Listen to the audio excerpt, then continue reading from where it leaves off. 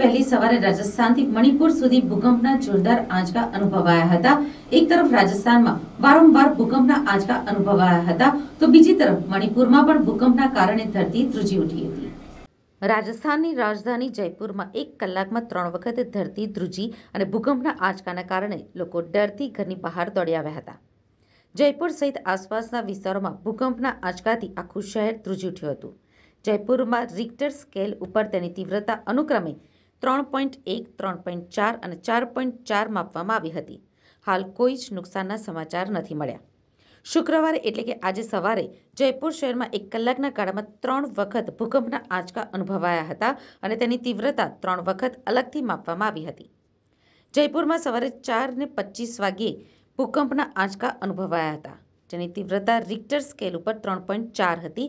National centre for સિસ્મોલોજીએ આની જાણ કરી હતી. આ ભૂકંપની ઊંડાઈ દસ કિલોમીટર હતી.